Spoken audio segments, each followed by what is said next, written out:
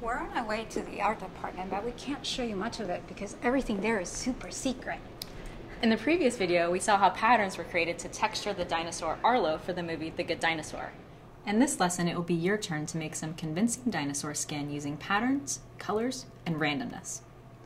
We're going to introduce you to some techniques used here at Pixar to do this, such as Voronoi diagrams, and how we use randomness to make it look more organic. By the end of this lesson, you'll be ready to make your own dino skin. And no matter what we're building, it all starts with a shading packet. And the shading packet comes from one of the artists in the art department, such as Tia. Hi. Hey. How are you guys? Great. Good. I have a present for you.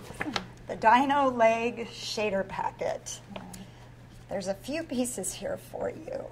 Some reference, some color specs, and some real reference. Those are for the claws.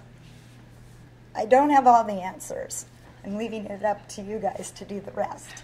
Um, yeah, I've got to go run and teach a class. So can I leave this with you? And you're welcome to use my office. Have a blast. Thank you. Thank you. Thank you. Bye. Bye. This shading packet is a collection of drawings and images that will guide us through the process of creating our dino skin. It all begins on paper because it's much faster to iterate that way.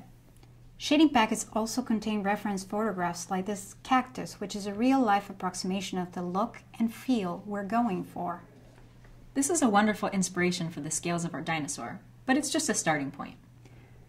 Let's examine these drawings a little more closely and see what kind of things Tia has identified.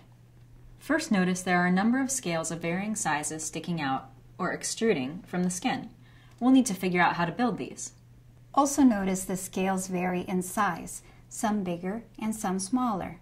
The bigger scales correspond to rigid areas, such as the middle of the leg.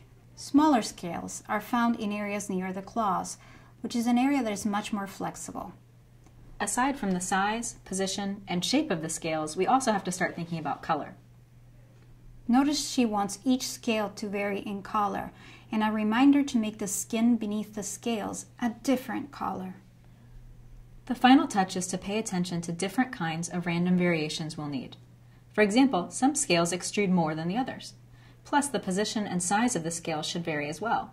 So there's lots of variation going on here. Now it's your turn to examine the shading packet. Once you're comfortable studying shading packets, we'll get to work creating the patterns in the computer.